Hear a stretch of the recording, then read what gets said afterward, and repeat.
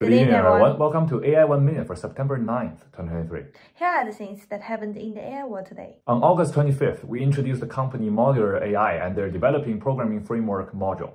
Today, this framework is available and open sourced on GitHub. This is the new programming language that accelerates Python's running speed to a great extent and is designed for AI development. Another repository named DiffBIR is trending on GitHub today. This is a repository used for the area of image restoration as a reminder. The image restoration process is to use AI to convert a low resolution image into a high resolution image. This project is developed by researchers in Shenzhen and Shanghai AI Lab. The base model used for this application is the Stable Diffusion model. According to the news today, Microsoft is using 35% more water supply training its AI models, and is using a lot of semiconductor supply too.